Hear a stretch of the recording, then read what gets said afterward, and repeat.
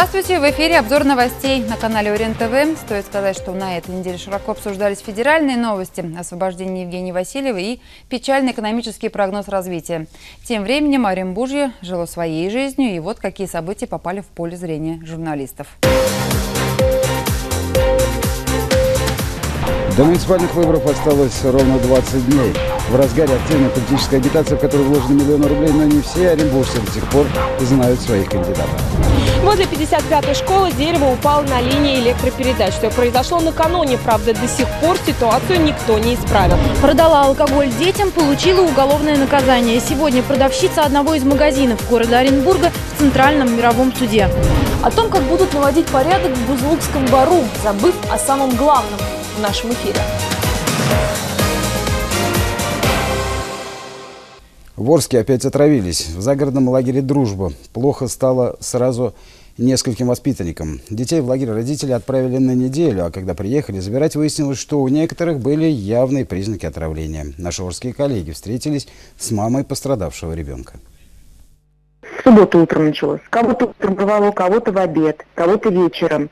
И вот сын говорит, мам, около медпункта одновременно семь детей стояли и их рвало одновременно. Он спросил, лекарство, у нас, говорит, девочке в отряде стало плохо. Отравилась. Она говорит, что вы такое придумываете? Это вы наелись чипсов и напились газ воды. Заезд был недельный, родители никому не приезжали. То есть питание было только в лагере. Директор лагеря «Дружбы» Никита Сафин официально откомментировал ситуацию на портале городской администрации. Подтвердил, что в субботу действительно несколько ребят обратились в медпункт с жалобами на боли в животе.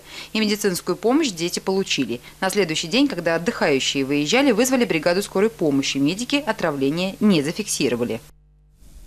Орские медики отмечают, что обращения ни в стационар, ни в поликлинике не было. В управлении Роспотребнадзора также сообщили, что официальных данных о массовом отравлении нет. Поясняют лишь, что в одном из случаев вызова медиков в лагерь отмечено ОРВИ, а другой ребенок страдал заболеваниями пищеварительной системы. Похожая ситуация была две недели назад. Из Орского профилактория Евразия в больницу с рвотой и высокой температурой доставили шестерых детей, а плохо стало 30 отдыхающим. Но пищевым отравлением это не признали. Тем не менее, на контроль ситуацию взяли чиновники. А вот в конце июля в одном из кафе отравились гости двух свадеб. С острой кишечной инфекцией в больницу попали шесть человек. Кафе закрыли, а в суд передали административное дело в отношении руководителя точки общепита. Заочное знакомство провалилось. До муниципальных выборов осталось менее трех недель. Тем временем не все оренбуржцы знают, за кого голосовать. 40 депутатских мандатов Оренбургского горсовета, напомню, будут разыграны 13 сентября. На каждый из 40 кресел Оренбургского городского совета претендует почти 10 человек. Партии могут потратить на своих кандидатов до 5 миллионов рублей, самого движенца одномандатники до 300 тысяч. И тут кто во что гораст. Висят вот эти плакаты красивая женщина. Уж, как говорится, мужчине не обратить внимания. Ну, на фотографии видела. А так, как я его знаю? Сегодня кандидаты больше предпочитают красоваться на плакатах, а ранее политиков избиратель знал лично в лицо, вспоминает старейший работник городской избирательной комиссии.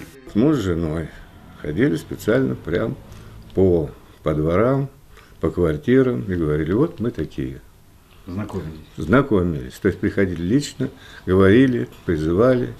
И вы знаете, он победил. победил. Да они к нам вообще не ходят. Никакой пользы от них нет. Где-то возле подъезда какие-то встречи проводят. Ну, я думаю, это так, для галочки. В итоге большинство избирателей, которые сентябрьским воскресеньем все же дойдут до избирательных участков, скорее всего поставят галочки в бюллетенях с десятками персоналей наугад. Процентов, наверное, 30. Он приходит на избирательный участок, смотрит, кто, и ставит, так сказать, ну, любому попавшему, как говорят, кандидатуру выбирает. Тем, за кого вот так, не задумываясь, отдадут голоса оренбуржцы, предстоит в ближайшую пятилетку издавать законы для более полумиллионного города. За тех, кто активно взялся за свою предвыборную пропаганду, уже взялся горосберком. Взаимные жалобы кандидатов пачками ложатся на стол комиссии. Есть переносные баннеры большие. Они устанавливаются, скажем, на перекрестке каких-то улиц. Как считать, это конструкция, наглядная агитация, предвыборная агитация. Вот мы хотим сейчас внимательно рассмотреть этот вопрос, поставить уже точку, потому что жалобы идут в промышленном районе, коммунистическая партия листовки на этих, на столбах. электрических, на таких. Ну, вот мы проверим, сегодня только эта информация поступила, я думаю, в ближайший день-два мы проверим. Ну, если что, будем немножко... Нельзя портить имущество. Нельзя. Ну, или согласовывать. Последствия сильного ветра или кто должен следить за потенциально опасными деревьями. В это воскресенье днем рядом с 55-й школой во время порыва ветра дерево рухнуло на тротуар и зацепило линии электропередач. По счастливому случаю никто не пострадал. К слову, на место происшествия специалисты ответственных ведомств не спешили. Бушевавший в воскресенье ветер повалил дерево, что растет на территории школы номер 55. Беды чудом не случилось, мимо никто не проходил. Клен повис на линиях электропередач. Прошло порядком времени, а убирать последствия непогоды никто не спешил. Я смотрю, никто не действует, не принимает меры. Эти деревья и раньше падали, потому что они уже переспелые, уже многовековые, поэтому надо же убирать их, отпиливать, отпиловку делать. Это просто недоработка УКХ, я считаю. Надо как-то тревогу бить, потому что, не дай бог, тут же и дети сейчас должны приходить скоро, 1 сентября. За деревья в ответе администрация школы. Как нам пояснили, сегодня в управлении образования. Завхоз совместно с директором должны вовремя выявить аварийное дерево. Два часа дня вчера упало дерево, он позвонил в дом 05. Заявку приняли сегодня, я утром пришел, полвосьмого звоню. Они говорят, заявка принята, полдесятого будет бригада, будет все, мы, говорит, в курсе. Сейчас уже пол, полдвенадцатого. Да, ну, у нас так всегда делается. На месте, как случайный прохожий, специалист администрации Северного округа. Юрий Червонный о ЧП не знал, пообещал устранить последствия стихии. Пиловка тут, в принципе, ничего роли не играет. Она же не то, что там э, где-то есть. Просто оно внутри уже гнилое, видите. Приедут люди, все обрежут. Не вопрос. А другие деревья проверят? Ну, ну здесь по школе проедут, потому что учебный э, будет уже начинаться учебный процесс. Конечно, всех проверят. Правда, проверять все же надо было заранее, ведь на кону здоровье и жизнь детей и взрослых. Наталья Голикова, Петр Рукин, Орен ТВ. В Оренбурге, как и по всей России, с прилавков магазинов может исчезнуть бытовая химия известных компаний Хенкель, Procter Gamble, Colgate и Palmolive. Согласно лабораторным исследованиям, часть продукции не прошла проверку на токсичность и не соответствует требованиям безопасности. В Оренбургском управлении Роспотребнадзора информацию о данном факте подтвердили. В крупнейших ритейлерах «Метро», «Пятерочка», «Перекресток» и «Карусель» уже начали изымать продукцию, пишет газета «Коммерсант». В перечень товаров сомнительного качества попала импортная продукция. Средства для мытья посуды «Ферри», «Платинум», увлажняющее молочко «Колгейт», «Палмолив» и другое. Также в списке оказались российские товары немецкой компании «Хенкель», кондиционеры для белья «Вернель», стиральный порошок «Персил» и моющие средства «Пемос». Данная продукция выпускается на предприятиях в Перми и Энгельсе.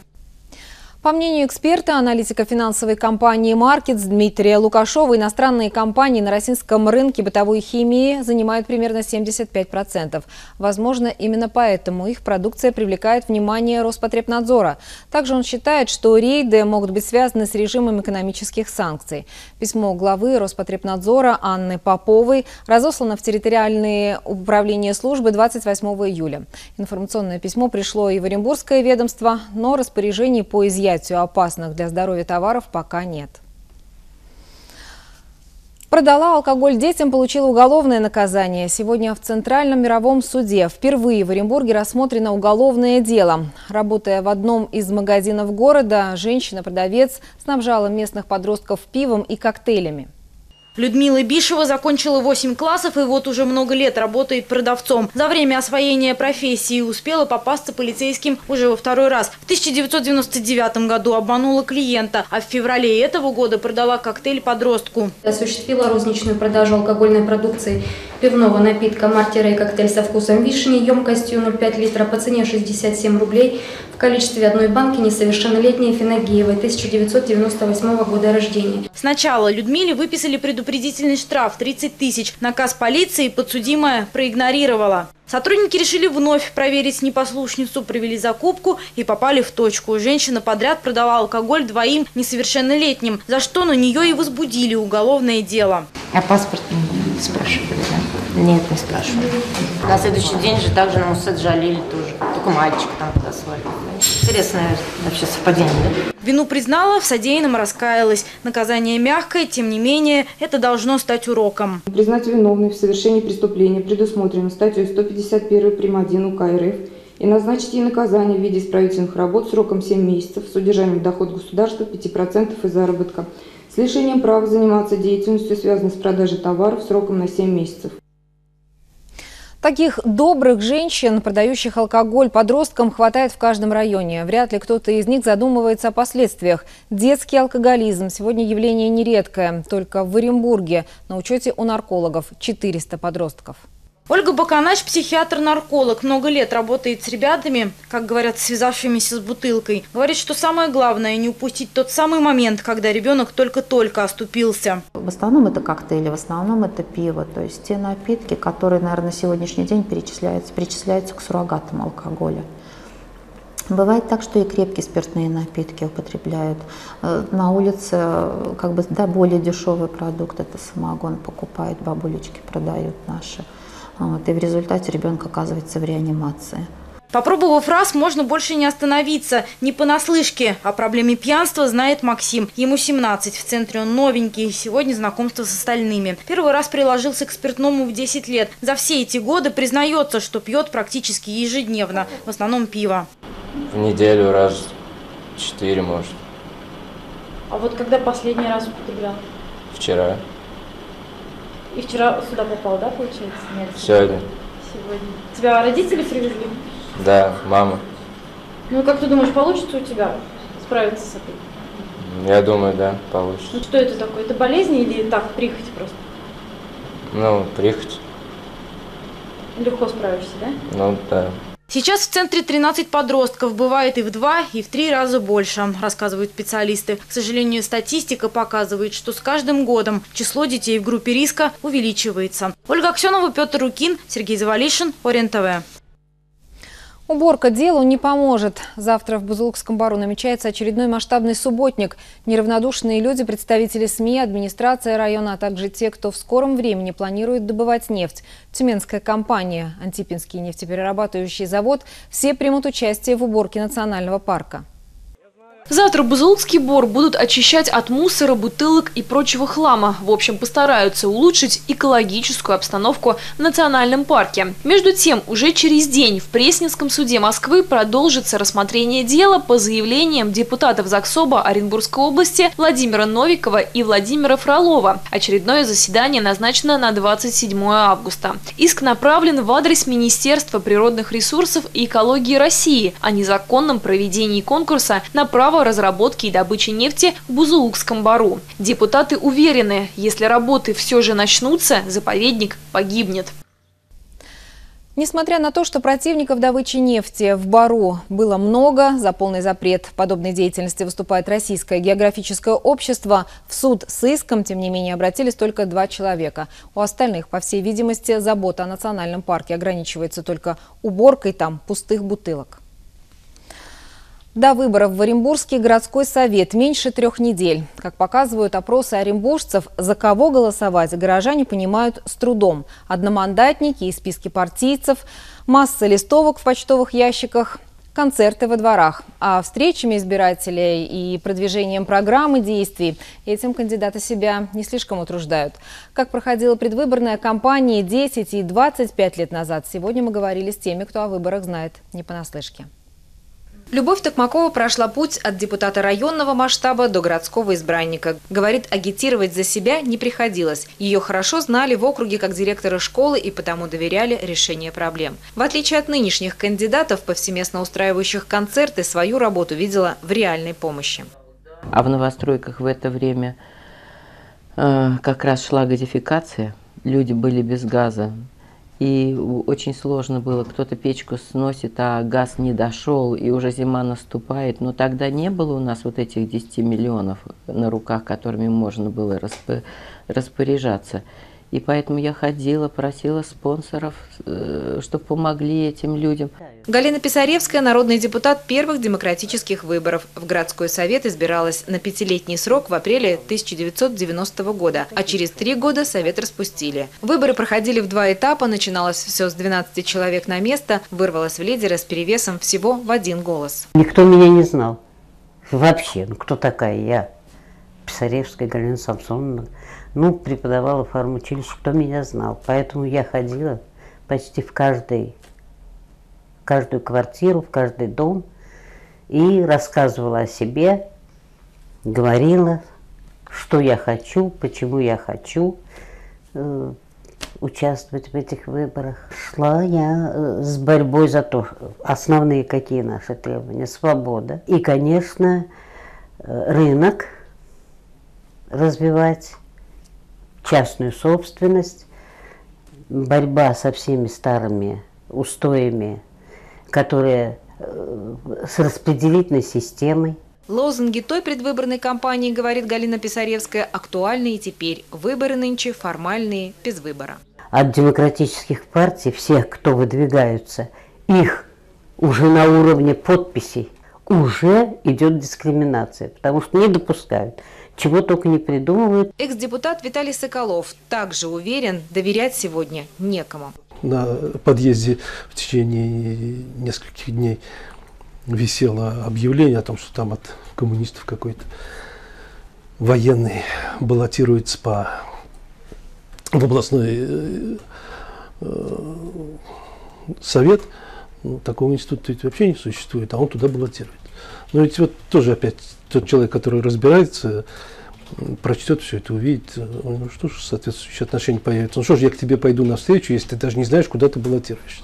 Непонимание населением хода предвыборной кампании, формальное отношение к выбору депутатов складывается еще и потому, что сама система претерпела значительные изменения. Кто-то идет по партийным спискам, кто-то идет сам, самый выдвиженец, кто-то идет э, от организации непонятно это. Народу это непонятно. Вот если выбирали в 2000 году 13 человек депутатов на весь город, и каждый из них был известен, о каждом из них рассказать, а 13 это легче рассказать, чем 39, то там было все понятно. Осенние выборы в городской совет, уверены экс-депутаты, не принесут сюрпризов. Важно, чтобы народные избранники пришли туда принимать нужные горожанам законы, а не только для решения хозяйственных и политических вопросов. Татьяна Штылер, Анастасия Шахмут, Сергей Завалишин, Орен ТВ.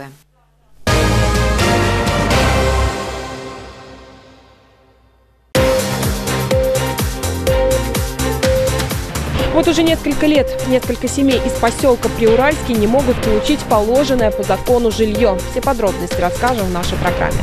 До холодов и дождей еще есть время, и жители надеются, что сотрудники тепловых сетей все же приведут придомовую территорию в порядок. Оренбургские ястребы слэш-хоккеисты вернулись с очередных соревнований в Москве, на этот раз с полной победой. ЧП в Новотроицке. Под угрозой обрушения жилой дом, в котором между четвертым и пятым этажами провисло межэтажное перекрытие. Накануне из трех подъездов пятиэтажки по улице Советской эвакуировали 75 человек, в том числе 18 детей. Уже выселяли один раз пятый подъезд. Поставили подпорки на лестничной клетке. Вся лестничная клетка до пятого этажа, все в подпорках. И так ходили люди, ходили, все обваливалось, все валилось у них, все обои падали. А плиту эту не сделаешь, она кривая. Разве ее прямой сделаешь? Жители рассказывают, что дом уже давно вызывает опасения, а во вторник по требованию специалистов МЧС в 8 вечера они покинули свои квартиры. На пятом этаже начали ремонт и заметили, что бетонная плита провисает. Шестиподъездный дом 1971 года постройки, в нем 90 квартир. На месте происшествия работает оперативная группа Новотроицкого гарнизона пожарной охраны, администрации города Новотроицка. Проведены укрепительные работы данного провисшего межэтажного перекрытия. Ну а основные результаты будут известны после того, как пройдет экспертиза строительных конструкций. В трех подъездах отключили электроэнергию и газ. Везде сотрудники полиции. На четвертом и пятом этажах сейчас идут работы по укреплению стоек. Есть э, специальные экспертные организации, аттестованные, аккредитованные на данные дела. Вот только они вынесут окончательное решение. Да, есть угроза для жизни, для обрушения здания и так далее. А вы говорить пока еще рано. Известно, что нуждающимся будет предоставлено жилье, скорее всего, в общежитии. О капитальном ремонте дома пока решение не принято. Состоянием жилищных условий обеспокоено и в другом населенном пункте. В поселке Приуральский новые дома для переселенцев из ветхого жилья, по мнению людей, так же опасны, как и старые. Таунхаусы построены с явными нарушениями и меньшей площадью, говорят переселенцы. У них возникает вполне резонный вопрос, почему до сих пор люди вынуждены рисковать своей жизнью и здоровьем. Наталья Голикова разбиралась в проблеме. В новые таунхаусы несколько семей должны были переехать еще прошлым летом. Однако, как выяснилось, жилье построили меньшей площадью. Но и это оказалось не самым возмутительным. Когда переселенцы увидели коттеджи не на бумаге, а на его возник вопрос, как вообще здесь жить. Крыша прогибалась, и там кроме как э, потолок сделан у нас, получается, из горбыля, снизу просто натянут натяжной потолок и сверху наложен утеплитель. Пол также не выполнен не по проекту, там также 5 слоев, а там всего сделали стяжку и постелили линолеум. У меня есть договор социального найма, у меня есть, имеется ордер от администрации совета о том, что у меня есть 36 квадратных метров. Они мне построили 2, 4 и 5. Я должна переселиться четвером. По решению суда у нас трехкомнатная квартира. Решение суда было в ноябре месяце, и строительство у нас началось в декабре. Вот, ну вот двухкомнатная квартира. В итоге четыре семьи отказались от такой поддержки государства. Сейчас они вынуждены ютиться в ветхих бараках, которые, между прочим, построены еще в начале 20 века. И здесь безопасность под вопросом. У людей есть на руках решение суда. Также проходила прокурорская проверка. Была и независимая экспертиза. Но, тем не менее, дело с мертвой точки так и не движется. Глава сельсовета говорит, что до сих пор идут судебные тяжбы. Оскар Абилов признает свои ошибки, но тем не менее мало чем может помочь людям. Трем семьям, кроме семьи Губченко, придется либо смириться с качеством и площадью, либо продолжить жить в старых бараках. У нас, значит, этап 14-15 продолжается, строится 6 домов трехквартирных на 18 семей. К сожалению, не все же по площади подходят и по количеству комнат. Вот в чем беда. Это один вопрос. И есть у нас, так скажем, две квартиры, которые подходят. С одной мы уже переговорили, как бы получили отказ, то есть человек не хочет. Вот. И сейчас буквально приезжает он с вахты, хозяин непосредственно, э, наимодатель. Вот. Он будет э, с нами иметь встречу и попытаемся его уговорить. Если вариант этот произойдет, естественно, мы вносим изменения в программу, и Губченко просто передвигаем на 14-15 этап, а этому человеку предоставляем эту квартиру. Тем не менее, в этом деле еще не поставлена точка. Люди намерены и дальше добиваться справедливости, а точнее получения качественного жилья. Отступать от своей позиции не намерен и сельсовет. Наталья Голикова, Петр Рукин, Орен ТВ. Без светофора невозможно перейти улицу Цвиллинга. В Южном один из дворов после ремонта труб так и остался неблагоустроенным. Что случилось, смотрите в одноименной рубрике. Одно лечим, другое калечим. Хорошо, когда прокладываются новые трубы, но после этого было бы неплохо навести порядок. А что об этом думают жители дома номер 6, дробь 2 по улице Амурской? С июня месяца раскопали, меняли трубы. И до сих пор, короче, у нас не заделано ничего. По просьбе нашей на телефонные звонки они начинают отнекиваться, что некогда, материала нет, рабочие на другие объекты засланные. Пыль, все это летит в окна, не, неприятно подойти, пройти мимо, некомфортно нам. Здесь бы все раньше был вишневый сад. Посмотрите, что сейчас здесь. Одни обломки. Люди годами это выращивали, ухаживали. А сейчас что? Тут маленьких детей у нас эти дети прибегают сюда, э, э, играют с нашими, и наши дети с ними на велосипедиках катаются. И действительно, женщины с этими, с колясочками ездят. Ну, неприятно. Я не знаю, что они хотят этим добиться. Может быть, ждут, когда наступит зима, чтобы ничего не делать, и до следующего года. Но мы так этого не оставим. После завершения работы частичное благоустройство было проведено сразу же, то есть весь необходимый минимум был сразу же выполнен. Окончательное благоустройство будет, будет завершено где-то в течение двух недель. Все благоустройство восстанавливается так, как было до начала работ. Мы едем по улице Цвиллинга. Из реконструкции Рыбаковской светофор там отключили. Теперь расстояние между пешеходными переходами около километра, а точнее 900 метров. Согласитесь, путь не близкий. Светофоров нет, пешеходного перехода нет. Так, посмотрел налево, посмотрел направо. Помех нет, прохожу по переходе. Некоторые притормаживают, некоторые едут. Очень сложно вообще. С детишками, с маленькими, больница рядом, и вообще очень сложно. Выждал, когда проедут машины под опрошем. Едешь и опасаешься смотришь, где остановка, где пешеходный переход, какой грузовик, всегда притормаживаешь, чтобы никого-то так, кто-то не выбежал, кто-то не выскочил. Куда идти нам? В нашем возрасте ноги болят. Нам надо покороче. Очень нужен светофор. Ждем, чтобы его поставили.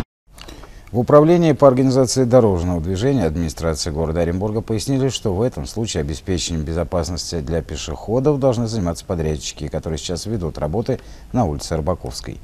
Заместитель генерального директора компании «Ремдорстрой» пообещал, что уже завтра на пересечении улиц Свиллинга и Рыбаковской появится знак «Пешеходный переход». На родину с победой команда «Оренбургские ястребы» по слэдж-хоккею вернулась из столицы с победой в открытом кубке города Москва. За лидерство боролись четыре команды, но ни одна из них не сломила наших земляков. Ни столичные фавориты, ни соперники из Удмуртии. Как добивалась победа, об этом спортсмены рассказали нашим корреспондентам и, конечно же, продемонстрировали трофей. Турнир проходил второй раз. Прогресс на лицо. В прошлом году команда из Оренбурга заняла четвертое место. Упорные тренировки и желание стать лучше возвело спортсменов на пьедестал победителей. Первую игру мы сыграли со «Звездой», э, город Москва, команда. Впервые в истории тоже э, нашей, нашего клуба обыграли их 3-0. Вторую игру мы играли э, с «Белыми медведями», тоже город Москва. Э, команде мы проиграли по булитам 1-0 вторую игру. И третью игру финальную играли э, с клубом Удмуртия. И тоже первый раз в истории нашего клуба обыграли их в финале со счетом 2-1. Михаил Чекмарев признан в турнире самым ценным игроком, а Дмитрий Козловский – лучшим вратарем. Моя команда меня поддерживает, помогает.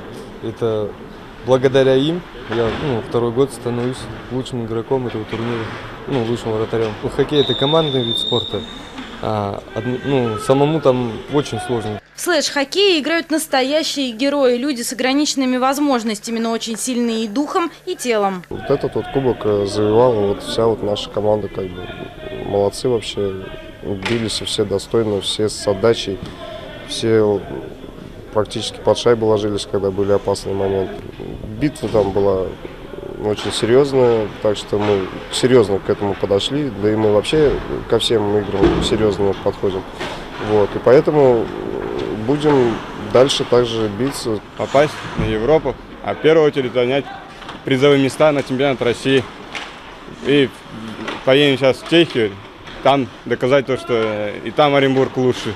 Оренбургская команда настроена решительно. Спортсмены уверены в себе. Уже в начале сентября ребята едут в Чехию. Обещают сломить европейцев и обязательно привезти трофеи из-за границы. Слэш-хоккей в России появился всего пять лет назад, а в Оренбурге этот вид спорта пришел в 2013-м. Спортсмены осваивали все с нуля. Теперь уверены, их ждет большое будущее. Ведь стремление, энергии и силу хоккеистов хоть отбавляй. Ольга Аксенова, Дмитрий Григорьев, Орен ТВ.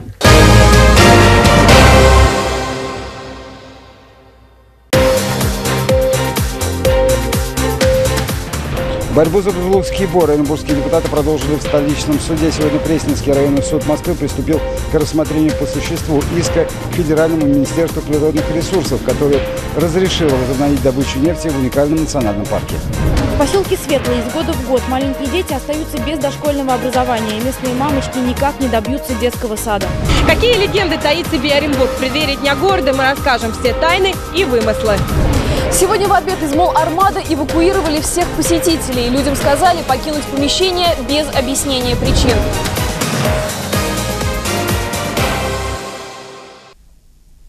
Спор за Бузулский бор продолжился сегодня в столичном суде. Пресненский районный суд Москвы приступил к рассмотрению по существу иска оренбургских депутатов к Федеральному министерству природных ресурсов, разрешившему добычу нефти в уникальном национальном парке.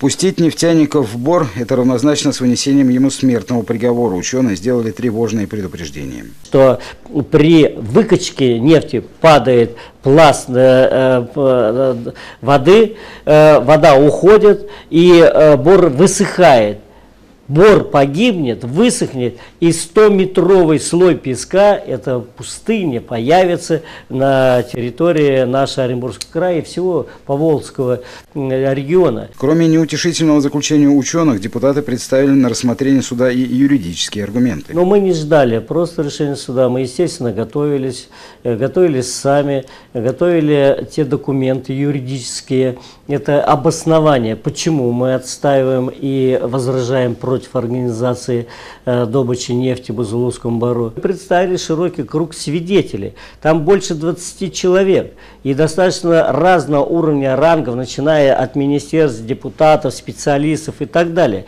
Э, есть определенные сложности их привлечения, потому что полторы тысячи километров до Москвы. Судебные тяжбы могут затянуться на несколько месяцев, но оренбуржцы сдаваться не намерены готовы дойти вплоть до Верховного суда. Речь о защите Бузулукского бора идет не первый год, но лишь единицы из представителей областного парламента подали иск к Федеральному министерству природных ресурсов и собрали около 15 тысяч подписей оренбуржцев. Остальные, вероятно, боясь испортить отношения с властью, предпочли стратегию невмешательства. Несколько сотен детей в Светлом из года в год остаются без дошкольного образования и воспитания. В поселке Сакмарского района уже 17 лет нет детского сада. Единственным местом для знакомств друг с другом и совместных игр стала местная площадка. Сегодня мамы, папы со своими чадами собрались на ней не самыми добрыми намерениями. Разговор состоялся не из приятных. Людей выслушала Ольга Аксенова. Это бывший детский сад в Светлом. С 98 -го года он не функционирует. Другого места для малышей в поселке нет. До ближайшего 18 километров. Большая проблема, хотя население большое, и детей очень много, и детский сад обязательно нужен.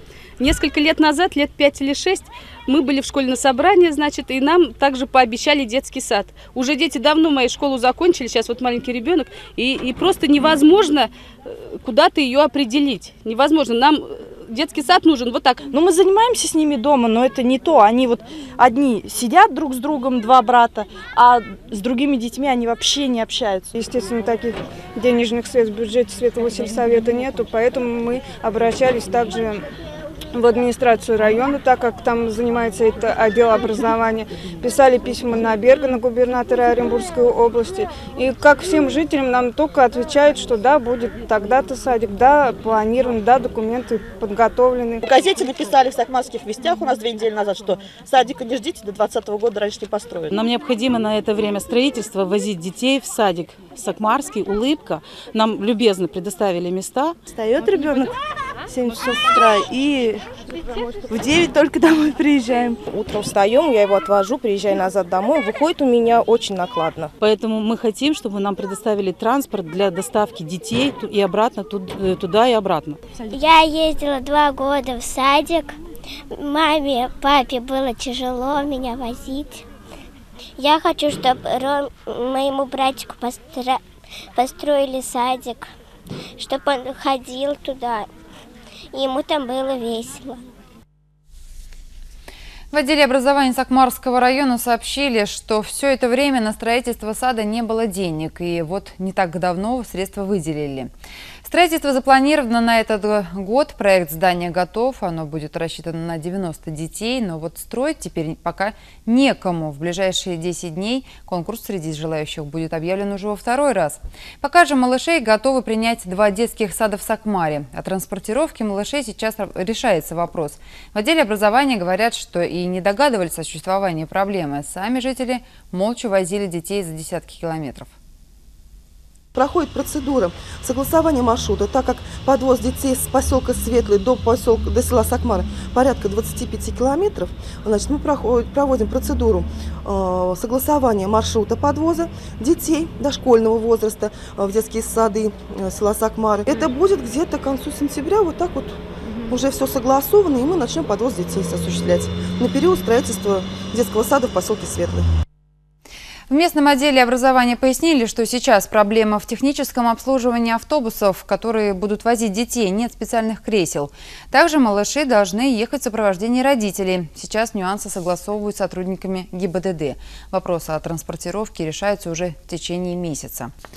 Оренбург хранит в себе немало загадок и тайн. В преддверии Дня города мы решили вспомнить самые знаменитые истории.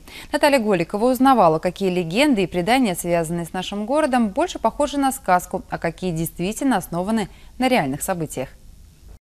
Пожалуй, самая знаменитая легенда о подземных ходах Оренбурга. Когда-то на месте, где сейчас находится сквер у Дома Советов, находился Казанский кафедральный собор. Храм простоял 37 лет, а после был взорван. Якобы когда до священников собора дошел слух, что готовится уничтожение храма, наиболее ценные вещи, реликвии ими были перенесены в тайно выкопанные подземные ходы и там замурованы. Конечно, если читать описание утвари этого храма, то там, конечно, встречаются именно очень ценные моменты, тем паче, что этот храм считался именно вот центральным собором э, всей губернии. Правда, пока захоронения никто не нашел. Поговаривают также, что торговый центр «Атриум» рядом решили строить не просто так. Это разговоры, легенды о том, что ну, люди знали об этом и надеялись найти там какие-то вот сокровища. А когда не нашли их, то и «Атриум», в общем-то, перестал существовать.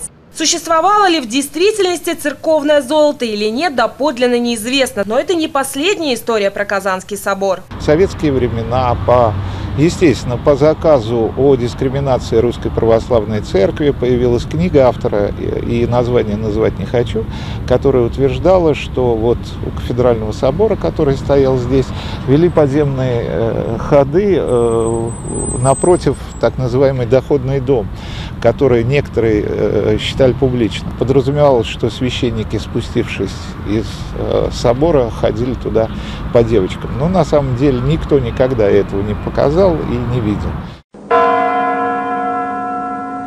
Многие горожане называют башню исторического музея Оренбурга крепостью, и в этом есть доля правды. На месте нынешнего музея некогда была гауптвахта. Ее стены до сих пор хранят таинственные надписи «Инициалы». Гауптвахта – это помещение для содержания военных под арестом. По поверью, после выхода с гауптвахты каждый должен был оставить свои инициалы на кирпичной стене. По преданию, это предохраняло от последующих штрафных санкций. Но также достоверно неизвестно, что таят эти надписи. Пожалуй, самая будоражащая история – это приведение в медицинской академии или здание бывшего Неплюевского училища. 20-е годы прошлого столетия, когда страну захлестнул голод, здесь расположился детский дом. Именно воспитанники приюта впервые заговорили о таинственном привидении. Наверное, именно поэтому после ликвидации детского дома здание долго пустовало. Позднее здание передали военным и восстановили. В годы Великой Отечественной войны его заняли воспитанники Сталинградского Суворовского училища. Охранники рассказывали, что слышали девичьи голоса, причем ночью. Но мы потом обнаружили, что это было так. Девочки приходят на экзамен рано утром, их не пускают. Там холодно. И тогда они придумали ну, найти какую-то аудиторию, договориться с лаборантом и заночевать в этой аудитории, чтобы утром быть на экзамене первыми. Вот они и так и сделали. Ночью, конечно, девчонки есть девчонки, они выскочили, похохотали, спрятались. А скорее всего, что дежурные и слышали как раз этот хохот. Легенда о привидении, обитающем в стенах старинного здания, живет и по сей день, особенно у студентов. Видимо, как один из способов подогреть интерес к учебе. Кино не будет, электричество кончилось. Эта фраза из фильма «Джентльмены удачи» как нельзя лучше подходит к истории оренбургских режиссеров. Сегодня в России отмечается День кино. Свою историю праздник берет с 27 августа 1919 года. Очередного декрета Совнаркома о национализации кинодела. Особой помощи от государства и меценатов киношники не видят и сегодня. Оренбург богат местными Спилбергами, но беден спонсорами. В этом убедился Александр Криволапов. Андрей Скопинцев стал кинорежиссером всего в 16 лет. Молодой человек вдохновился произведением Андре Барбюсен, нашел команду единомышленников и снял 15-минутный художественный фильм о любви с бюджетом всего в 20 тысяч рублей. И то он ушел на транспортировку, на также питание, потому что мы снимали буквально вот сутками, не выходя из квартир, мы вот и на аренду места. И все же, по мнению автора, фильм удался. Презентация в одном из крупных кинозалов год назад вдохновила молодого режиссера. Люди выходили, они плакали, и это было главное. Я хотел увидеть именно те эмоции, которые меня вот это произведение вызвало. Однако в широкий прокат фильм не пошел. Андрей Скопинцев удовольствуется лишь интернет-просмотрами. За год, говорит молодой человек, на сайт с его картиной заходило около 100 тысяч оренбуржцев. Но молодой человек не теряет надежды и уже написал свой собственный сценарий на полнометражный художественный фильм о психологической драме подростков из богатых семей. Без денег кино снять можно. Э, тяжело в России, что к этому относятся очень скептически. Все хотят получить какую-то прибыль со всего. Игорь Юрченко, в отличие от Андрея, замахнулся на большое кино. Сам написал сценарий криминального детективного триллера «Темная сторона». Суть вся в том, что у каждого из нас есть темная половина. Фильм э, о нас, о людях, которые живут в нынешнее время. Режиссер замахнулся даже на звездную плеяду актеров, но уперся в банальную проблему с деньгами. Сценарий «Темная половина» ждет экранизации уже третий год. На октябрь прошлого года, когда мы снимали тестовую сцену э, в Гулливере, то есть у нас бюджет э, составлял, по моим подсчетам, 12 миллионов рублей. Вот. Э, был инвестор, который был готов вложить деньги, но, к сожалению, экономическая ситуация не только в стране, но и в мире складывается так, что инвестор счел невозможным свое дальнейшее участие в этом проекте. Игорь Ющенко все же не теряет надежды, что его картину увидят в широком прокате, но убедить спонсоров в том, что кино – один из прибыльных видов бизнеса, у него пока не получается. Тем временем еще один местный режиссер Вера Арнгольд снимает уже четвертый фильм «Чудесники». Три предыдущие работы «Остров цикад», «Пятница» и «Электричество», хотя и не стали достоянием широкой общественности, пусть далеко не в первых строчках, но все же дошли до Кан и Международного кинофестиваля в Южной Корее. Другие оренбургские мастера кино только ждут, когда придет их звездный час. Александр Криволапов, Сергей Завалишин, Орен ТВ.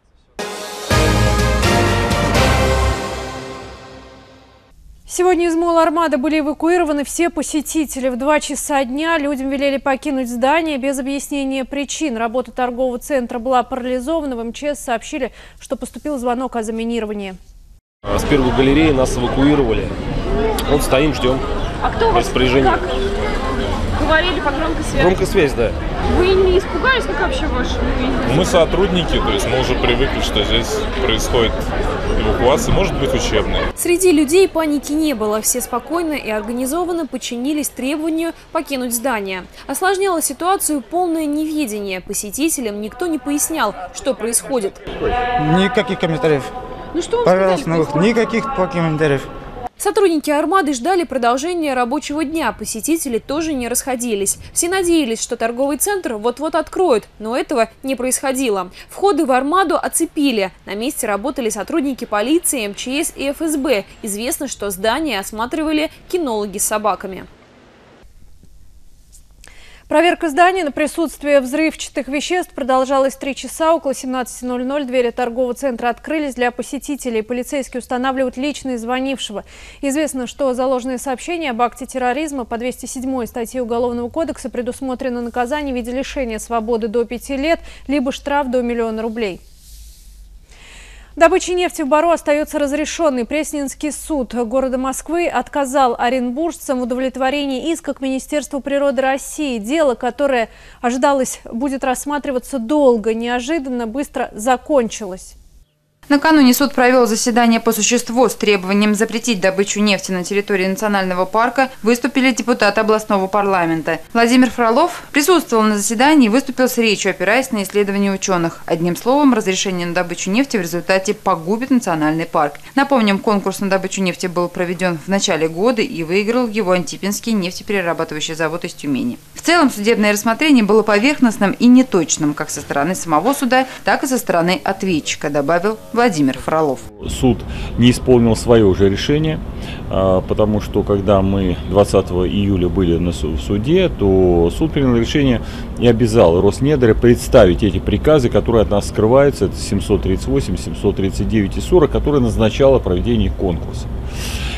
И вчера э, ничего так и представлено не было, мы неоднократно об этом говорили. Ни одного ответа я от представителей министерства, которое бы говорило мне по сути вопроса, я не получил.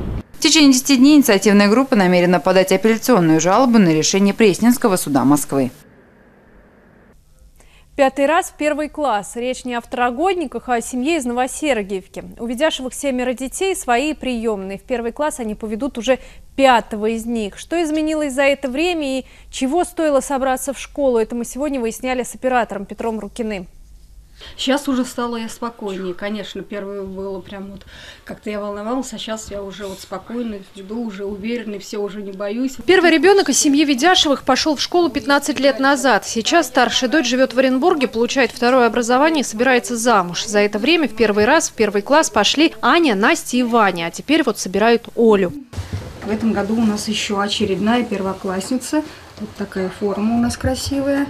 В свои шесть лет Оля, как и все первоклашки, уже умеет читать, писать и считать. Это когда первую Татьяну вели в школу, могли позволить себе об этом не думать, говорят Андрей и Екатерина Ведяшевы. Теперь же полный комплект должен быть не только в портфеле, но и в голове. Как цивилизация меняется, и дети по цивилизации меняются. У них вот, они вроде маленькие, а они настолько уже все это быстро, шустро соображают, чтобы в раз не опустошить семейный бюджет и не ввязываться в разрекламированные кредиты на сборы к школе, к учебе Ведяшева начинают закупаться с весны.